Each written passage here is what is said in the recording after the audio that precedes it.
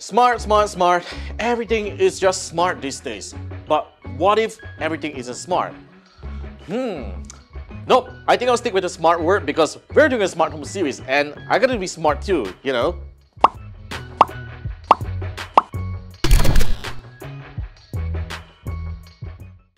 Welcome to the first episode of Automation, where we talk about reviews, tips and tricks, and guides on smart home products and services. And today, we're to show you this little guy right here. This is the Aqara A100 Smart Door Lock. Now, we recently upgraded our smart lock to this one because it is one of the most affordable, in fact, it is the most affordable smart door lock with a fingerprint sensor in the market right now that costs only 1,399 ringgit. And I'm going to show you all the features that you can do with it, including, of course, automation, because it works works with Aqara's ecosystem of products and you can do a lot of automation stuff that other more expensive smart locks couldn't. So let's get to it. Now as you can see right here, the Aqara A100 Smart Door Lock is a pretty handsome looking door lock despite being a really affordable one.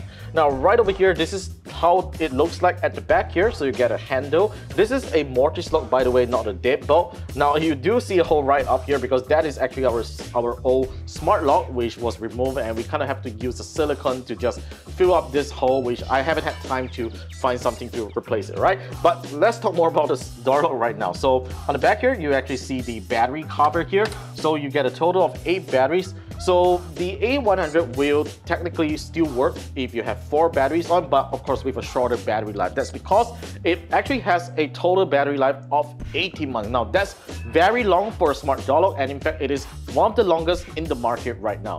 So you also get a couple of buttons right here to reset the door lock or even to do some settings if you want to. Now over here you do get this uh, switch right over here that locks the door in case if you want some extra privacy for not having anyone intrude uh, your privacy at home, right? So you can just simply turn this and it will lock the door and nobody will be able to unlock from the outside, all right? So let's open the door right now.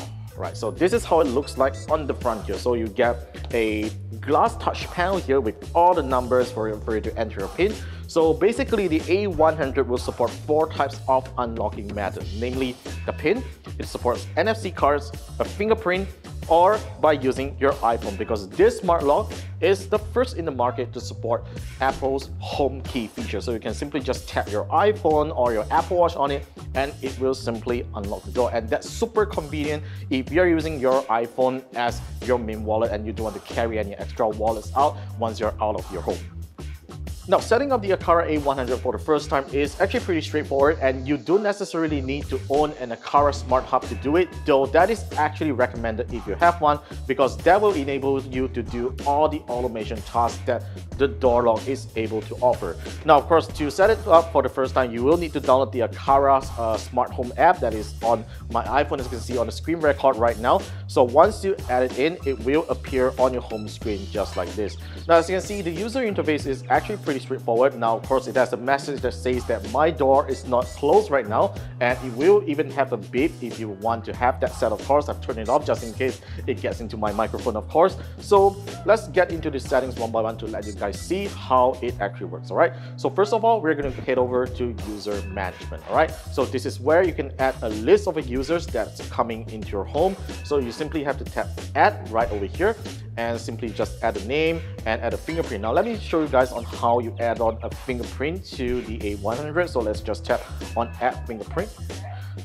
And there's a pretty cute voice prompt right over there, right? And let's just tap. Now, if you look at the screen recording right there, it is capturing your fingerprint just like how you usually register a fingerprint on your smartphone. All right? done. And you simply name the, the finger that you have registered on the fingerprint reader, right? Let's just put the thumb because I have my thumb. And of course, you can also have the typical standard PIN code if you actually prefer that. So let's just do one, two, three, four, five, six, right? And tap on next.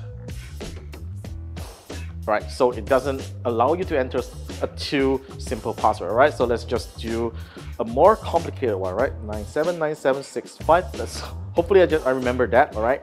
And let's press done and next, right? So it basically supports up to 10 digits uh, of code if you want to do that. 979765 and let's tap on done and this is my first pin code password right over here.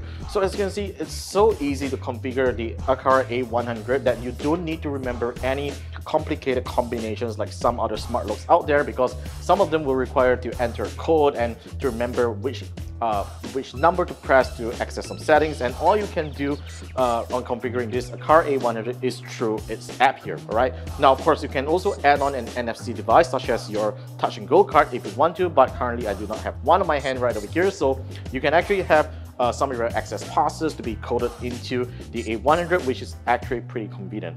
But one super cool feature that I want to show you guys right here is the home key feature. Now, assuming now I'm going to lock this door right now, right? Let's just lock it and if I want to unlock the door, it's actually pretty simple. All I need to do is just tap here and as you can see, it simply unlocks the door already and I can just simply just pull down the handle and come into my studio. The Aqara A100's fingerprint reader works pretty well in my case, not unless I have sweaty hands. And this is how it works. I'm just going to tap right over here and I can finally unlock the door lock just like this. Now, if you happen to run out of battery, there is actually a USB-C port right at the bottom here where you only just need to use a power bank and connect a Type-C cable to temporarily power up the door lock in order to access your home or office. Just in case any of these authentication methods don't work, you do of course have the option to use this physical keys to unlock the A100 if you ever need to. Now, one of the good things of connecting your Aqara A100 to an Aqara Smart Hub is that you can do stuff over the internet because since it is connected to an online hub, you can configure everything about the door lock on your phone over the internet, even though if you're not in your house, all right? So I have the app on right now, so let me show you how you guys can generate a temporary password here. So let's just, let's just head inside to the temporary password page. So you can just tap add password. So it will generate a random code which you can save it as a picture or copy the password uh, to send it over to your friends who's visiting your home so they can, they can just use this passcode to enter without you uh, going to open door for them, right?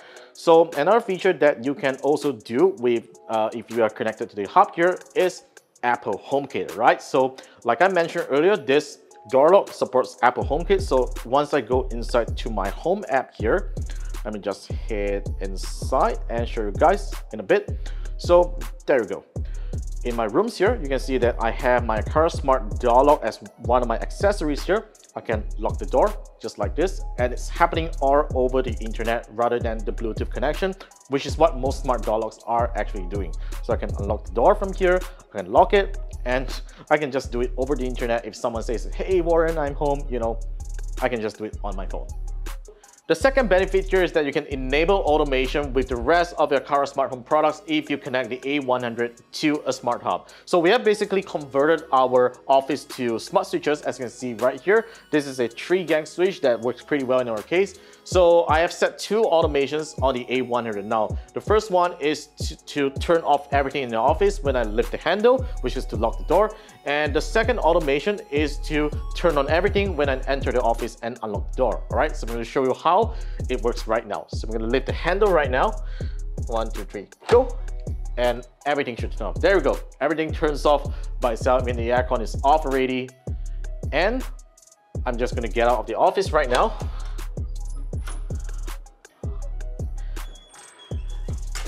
and wait for a bit and I'm just going to unlock the door right now and everything should turn on. There we go.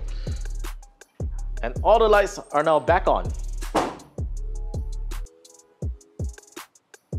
So here are the list of if automations that you can do with the Smart Lock A100, which is very, very comprehensive. And I think this is probably one of the best smart locks that you can get in the market right now. And for this kind of price, this list of automation, I would say that is pretty darn worth it.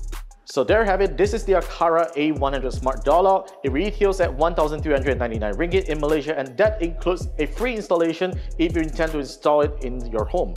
So this is a really, really nice smart lock that offers features and home automation that even more expensive smart door locks do not offer. And I highly recommend that you go check it out. So that's pretty much for the first episode of Automation. Stay tuned for more episodes coming right up on the channel. Be sure to say subscribe and comment down below if you have any questions or thoughts about the Akara A100 or any other Aqara smart home products. That's pretty much from me right now. I'm Warren and I will see you guys in our next episode of Automation.